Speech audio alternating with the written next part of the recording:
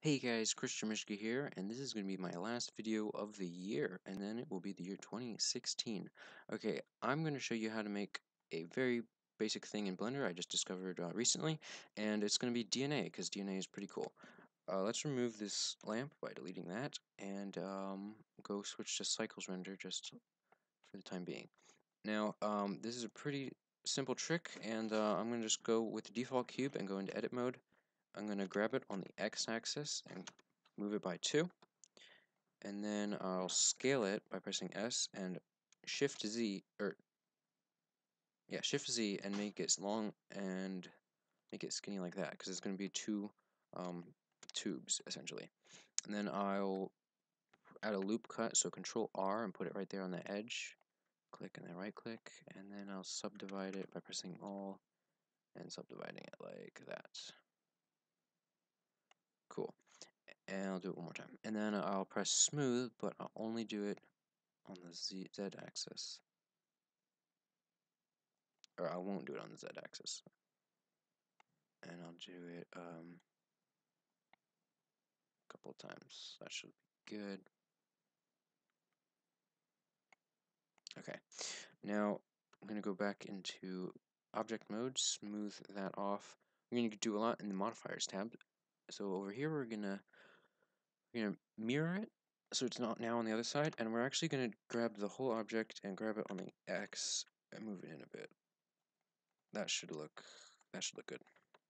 Okay, so now we have these two pillars and uh, we need to add a um, cylinder. And so we just add a cylinder, cylinder into the center, rotate it on the y-axis by 90, so R, Y, 90, and then scale on it, Shift X to make it small like that, and then we're scaling on the X just to make it extend into both of those areas, and we'll bring it up to right about there. And then we'll press Shift D to duplicate it and move it on the Z axis to bring it down. We're to put it right there. Okay, looks good. Kind of have this ladder already. And uh, one other thing I'm going to do is actually remove. I'm going to go into face select and I'm going to press this one, press control and that'll select a line of them and I'll go around like this and then I'll press X to delete it and I'll only do the faces. That way we still have the geometry there. Just in case we have for our modifiers, it should be good. Okay. That way we have um, this kind of ladder link and then we'll minimize this modifier, add another one, and we're going to do array. And we want it to go up. So instead of this, we're going to do one on oops on the Z, oops on the third link, the third one. So that way it goes up. And we're gonna do like 10 and like that. We'll merge them. They look a little bit weird, but hold on. Let's add another mod modifier. Let's add the um, simple deform modifier. And uh, this is pretty simple. You can bring up this angle to like, uh, let's start at 100. 100 and it begins to twist it maybe you could do 400 and you can end up getting a DNA kind of ladder and that's one way to do it and it works pretty well you can keep adding to this make this count go up to like 30 links. But since as you add more it stretches it so you need to bring this angle up.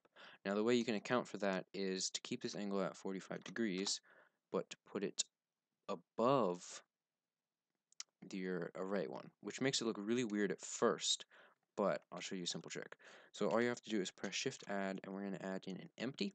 We're going to do plane axis and it's right here at the center and then we're to go back here and on on the array one, we're to check object offset, and then we're to choose the empty one. Now when we rotate the empty, it rotates all of the pieces. like if I zoom out, it rotates them all like in a circle. So that's a really good way to get a circle and a spiral. But I'm just to rotate it on the z-axis to kind of twist it like that. And the amount I need to twist it is 45 degrees, so rotate z 45, and it lines up perfectly. and you just want to make sure that it's rotated the same amount that whoops that the modifier is right here. And 45 degrees I think looks pretty cool. This way you can add as many as you want. You can do 50 and it's still the same linkage which is cool. And we'll go back to 30 then you can find a cool position for your camera maybe like right um, there for space type in camera and go down to align camera to view and we might even try to select our camera eh, and rotate it on the Y and then press Y. Oops.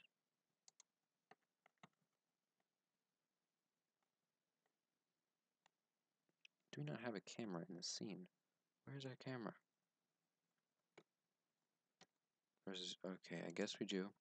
Okay, yeah. Anyways, that's good enough. Now we can add a uh, whoops, simple material. Node editor, click on this, and go over here to materials, and then add a new material. And we're just going to make a simple material, nothing so fancy. We're not going to get into materials right now. And we're going to go, we're gonna, just going to do a glass one because it looks pretty cool. Put in a surface, make it a little bit bluish, and go to rendered and that looks pretty sweet.